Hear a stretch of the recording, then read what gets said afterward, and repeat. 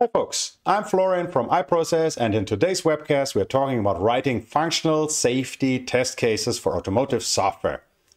Our focus is on the distinctive approaches required for different automotive safety integrity level or ASIL ratings from ASIL QM to ASIL D based on ISO 26262 Road Vehicles Functional Safety. Let's set the stage with our foundational tools. Hazard Analysis and Risk Assessment or HARA and Failure Mode and Effects Analysis, FMEA. These methodologies are essential for identifying potential hazards, assessing risks, and understanding the effects of different failure types.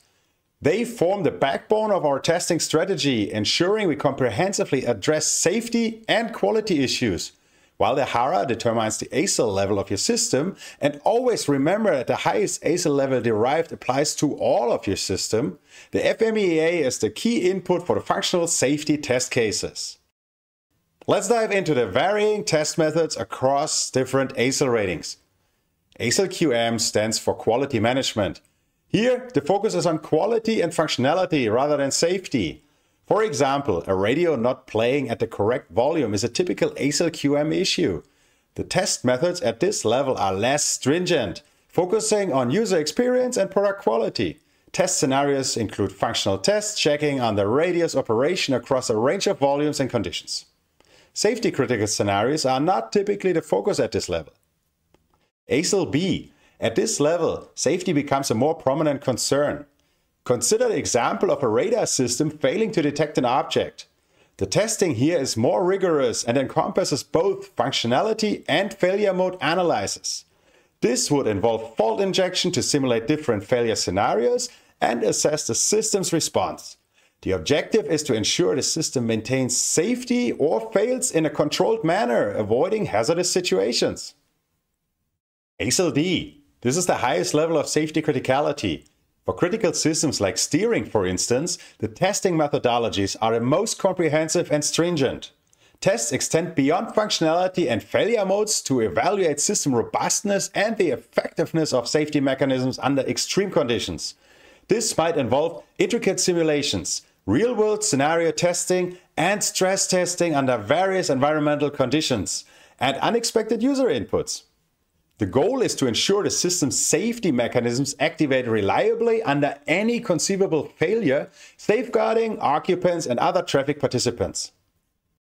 When designing test cases for functional safety, it's essential to employ specific techniques that align with the nature of automotive software.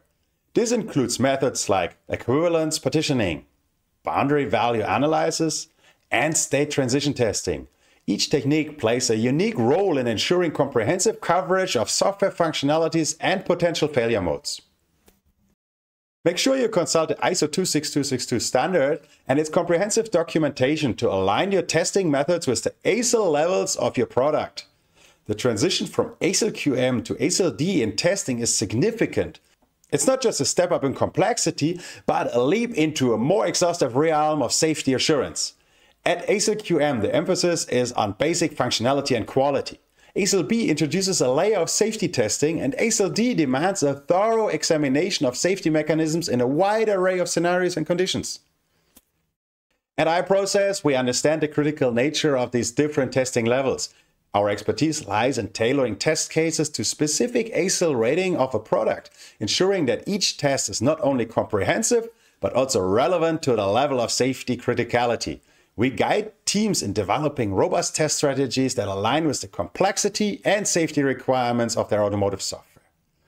If you are looking to enhance your approach to safety testing in automotive software, reach out to iProcess. We are here to help you navigate these complexities and ensure that your products are not only compliant, but also state of the art in their safety standards.